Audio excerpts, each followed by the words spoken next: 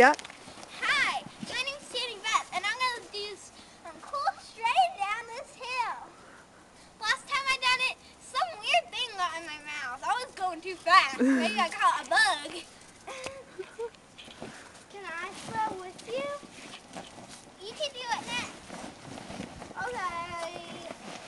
I was thinking you were gonna go video videotape it from inside.